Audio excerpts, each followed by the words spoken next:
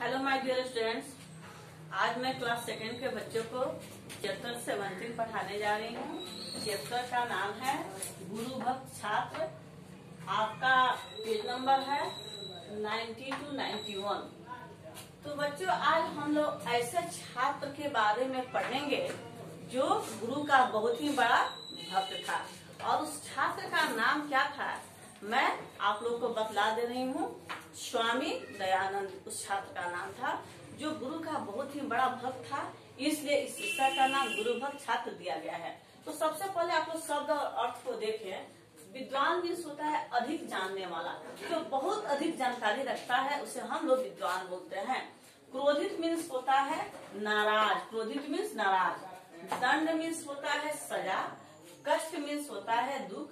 प्रसिद्ध मीन्स होता है मशहूर और महापुरुष मीन्स होता है महान व्यक्ति। महान व्यक्ति को महापुरुष इसलिए कहा जाता है कि वे कुछ ऐसा कर जाते हैं जिससे उनका नाम इस देश, देश में अमर हो जाता है दुनिया में अमर हो जाता है। उनकी कृति अमर हो जाती है इसलिए उन्हें महापुरुष कहते हैं। तो बच्चों अब मैं कहानी स्टार्ट करने जा रही हूँ। आप लोग इसको ध्यान से सुनेंगे और रीडिंग साथ ही साथ आप लोग रीडिंग भी देने का प्रयास करेंगे क्योंकि रीडिंग बहुत ही मस्त है। 150 वर्ष से भी अधिक पुरानी बात है। मथुरा में एक बुढ़ा व्यक्ति रहता था, वह बिल्कुल अंधा था पर था बड़ा विद्वान। ये डेढ़ सौ वर्ष पहले की कहानी है। आज की कहानी नहीं है।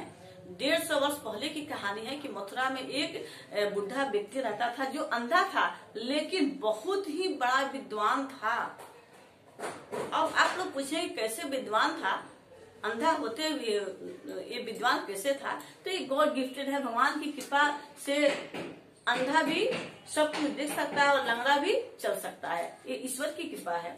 इस अंधे व्यक्ति की कुटी पर अनेक छात्र पढ़ते थे। ये गुरु जी छात्रों से फ़ीस नहीं लेते थे, छात्र गुरु जी की सेवा जी जान से क्या करते थे?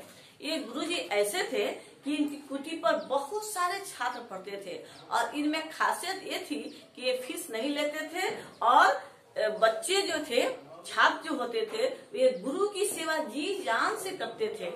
वे बहुत ही गुरु भक्त होते थे। एक दिन अंधे गुरु जी छड़ी टिकाते हुए कुटी से बाहर निकले। अचानक उनका पैर कूड़े के ढेर पर पड़ा। कूड़े पर पैर पड़ते ही गुरु जी अत्यंत क्रोधित हो गए। पूछा, यह कूड़ा किसने डाला है? एक दिन की बात है, वो अंधे गुरु जी घर से बाहर, कुटी से बाहर निकले तो उनका पैर एक कूड़े पर पड़ गया। पैर पड़ने से बहुत ही वे क्रोधित हुए और उसने गरज कर पूछा कि ये कूड़े किसने रखा? अब देखिए एक छात्र गुरु जी के पास आया, सिर झुकाकर उसने कहा गुरु जी आज मुझसे भूल हो गई। झाड़ू लगाने के बाद मैं कूड़ा नहीं उठा सका, मुझे क्षमा कीजिए। तभी एक छात्र आया और उसने कहा कि गुरु जी आज मैंने झाड़ू लगाया और कूड़े को यहीं पर फेंक, इकट्ठा कर दिया मैं उसे नहीं फेंक पाया। क्योंकि कुछ काम में मैं लग गया, जिसके कारण मैं नहीं फेल मैं भूल गया हूँ, जिसके कारण मैं नहीं फेल उसे देख पाया। तो आप मुझे क्षमा कीजिए। लेकिन गुरु जी का गुस्सा इतने पर शांत नहीं हुआ। उन्होंने छड़ी से उस छात्र को जीव भर कर पीटा। वह छात्र चुपचाप खड़ा रहा। थोड़ी देर बाद गुरु जी हाँपते हुए चले गए। लेकिन इतना सुनने के बावजूद भी बच्चे के बच्चा अपना गलती एक्सेप्ट कर लिया, अपने गलती को स्वीकार कर लिया, फिर भी गुरु जी का क्रोध शांत नहीं हुआ। उन्होंने छड़ी उठाई और बच्चे की ज़बरदस्त पिटाई की। जब बहुत पीट लिए तो हाँपने लगे और वहाँ से वे चले गए। अब देखिए, तब यह छात्र गुरु जी के पास पहुँचा। इसने गुरु जी के चरण छुकर कहा गुरु जी मुझसे भूल हुई थी। मुझे दंड देने में आपके शरीर को बड़ा कष्ट हुआ। लाइए आपके हाथ पर दबा दो। अब उतना पीटने के बाद भी वह छात्र गुरु जी के पास गया और कहा कि गुरु जी आपको मेरे कारण आपको बहुत तकलीफ़ हुई। कष्ट हुआ, आपका जो है शरीर बहुत हाथ पर दुखता होगा। लाइए मैं आपके हाथ पैर को दबा दूँ, क्योंकि मैंने गलती किया था और आपने मुझे दंड दिया। दंड के लिए मुझे कोई एतराज़ नहीं है, कोई नाराज़गी नहीं है। मुझे दुख इस बात का है कि आपका हाथ पैर दुखता होगा। लाइए मैं आपके हाथ पैर को दबा दूँ। देखिए कैसा छात्र था वो। आपको कुछ आराम पहुंचेगा गुरु जी के मन में दुख हुआ, वे बोले, मुझे क्रोध आ गया था, मैंने तुम्हें बहुत पीटा, तुम्हारे शरीर पर बहुत चोट लगी होगी। गुरु जी ने कहा कि देखो, मुझे बहुत गुस्सा आ गया था, जिसके कारण मैंने तुम्हारी बहुत पिटाई की। तुमको बहुत कष्ट होता होगा, बहुत चोट लगी है तुम्हें। मुझे भी इस बात की अफसोस है। गुरुजी, मेरा शरीर तो कठोर है, इस थोड़ी सी चोट को सह लेगा, लेकिन मुझे दुख है कि मेरे कारण आपको कष्ट हुआ। यह कहकर छात्र गुरु जी के हाथ पर दबाने लगा, अन्य छात्र आश्चर्य से उनकी ओर देखने लगे। क्या हुआ? गुरु जी से वह छात्र कहा कि गुरु जी मेरा शरीर तो बहुत कठोर है, लेकिन मुझे दुख इस बात का है कि आपके हाथ पैर दुखते होंगे और मेरे कारण आपको बहुत ही दुख हुआ, आपको कष्ट पहुँचा।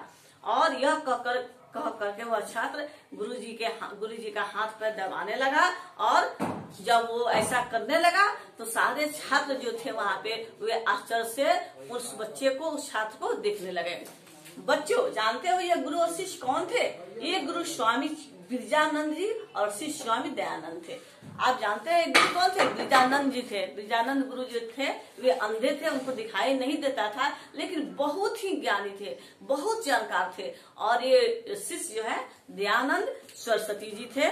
स्वामी दयानंद थे। दयानंद सरस्वती के नाम से भी जाने जाते हैं। स्वामी दयानंद हमारे देश के बहुत प्रसिद्ध महापुरुष हुए ये उन्होंने लोगों को सिखाया, किसी को छोटा मत समझो, स्त्रियों का आदर करो, सबको पढ़ने का अवसर दो, ढोंगी लोगों पर भरोसा मत करो, ईश्वर पर भरोसा करो। ये स्वामी दयानंद जो है बहुत प्रसिद्ध महापुरुष हुए। इनके कुछ उपदेश है जो बहुत ही अच्छे हैं। इन्होंने कहा कि किसी को छोटा मत समझो। जो भी है, सब ईश्वर का दिया हुआ है, इसलिए किसी को छोटा मत समझो, स्त्रियों का आदर करो, सभी को शिक्षित करो और ढोंग पर विश्वास नहीं करो। ढोंग इंसान को बहुत ही बुरा हाल कर देता है, बहुत बदतर स्थिति बना देता है, इसलिए ढोंगी लोगों से दूर रहो। ये यहाँ तक कि पत्थर मूर्ति को भी नहीं मानते थे, पत्थर पूजा भी नहीं करते थे और सती प्रथा को भी इन्होंने समाप्त किया। इस तरह से इन्होंने देश के लिए, समाज के लिए बहुत कुछ किया। स्वामी दयानंद ने देश में फैली अनेक बुराइयों को मिटाया। इनके बारे में तुम आगे चलकर बड़े होकर पढ़ोगे। देखिए इन्होंने, स्वामी दयानंद ने देश में अनेक बुराइयों को समाप्त किया। एक बुराई तो ये है कि सबसे पहले सती प्रथा थी। अगर किसी का पति मर जाता था तो पत्नी को ज़िंदा ही जला दिया जाता था। इस बात का स्वामी दयानंद ने बहुत ही विरोध किया और इस प्रथा को उन्होंने समाप्त कराया। आगे आप जब बड़े होंगे, आगे क्लास में जाएँगे, अगली कक्षा में जाएँगे तो और सब इनके बारे में बहुत कुछ पढ़ेंगे। तो बच्चों, इतने शब्दों के साथ ये कहानी समाप्त हुआ। आप लोगों का प्रश्नोत्तर पीडीएफ के द्वारा चला जाएगा। आप लोग अपनी कॉपी को, अपने फेयर कॉपी को कंप्लीट करें और साथ ही साथ पढ़ाई जारी रखें, मन से पढ़े, अपने सिलेबस को कंप्लीट करें और दो चार चैप्टर जो बाकी है, उसको भी मैं पढ़ाऊँगी। अब इतने ही शब्दों के साथ मैं अपने वाणी को विराम देती हूँ। धन्यवाद स्टूडेंट्स